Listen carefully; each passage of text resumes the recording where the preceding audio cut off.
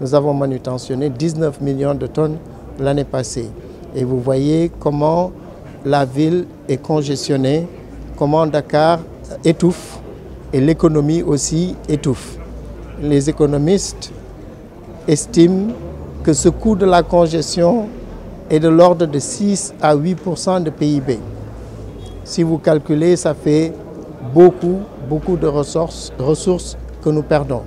Il est donc temps qu'on change euh, de, paradigme et que Dakar soit euh, délesté de toute cette congestion et qu'on puisse trouver euh, sur la côte une zone pour accueillir un port de quatrième génération.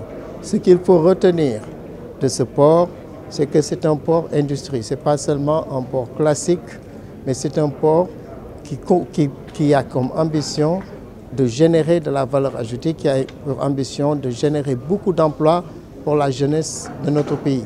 Nous avons un pays extrêmement jeune et nous devons compter sur la vitalité, sur la jeunesse euh, de, ce, de, ce, de, ce, pays pour amorcer l'émergence euh, et, qui va euh, contribuer à, améliorer les conditions de vie des, populations. Ce port, nous allons euh, démarrer à l'issue de cet appel public à l'épargne que nous espérons sera un succès. Euh, c'est un, challenge, c'est un, un risque que nous prenons pour aller vers le marché, pour lever 60 milliards, pour démarrer les travaux.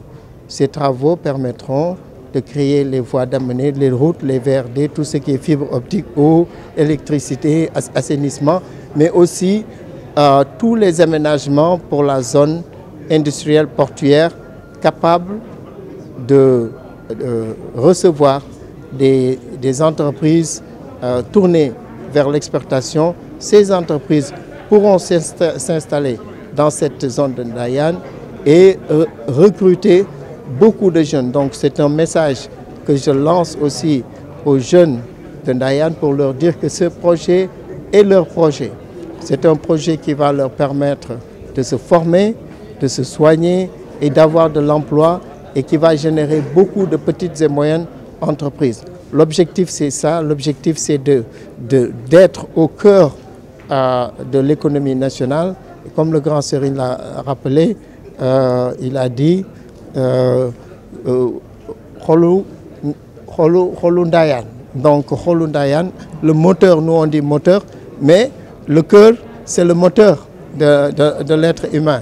Et ce qu'on va créer à va devenir le moteur euh, de l'émergence parce que simplement créant beaucoup d'entreprises les entreprises sont les lieux de création de richesse sont les lieux de création d'emploi donc si on réussit ce challenge de collecter 60 milliards et c'est pas évident.